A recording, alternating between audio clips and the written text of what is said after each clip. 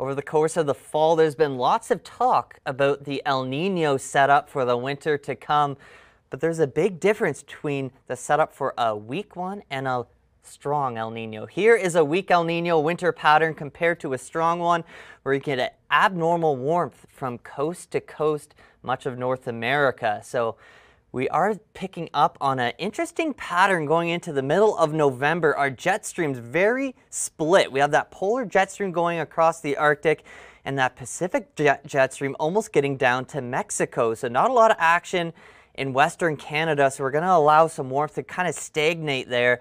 And that northern polar jet stream, that's going to really prevent some of that Arctic air from sinking down into Eastern Canada.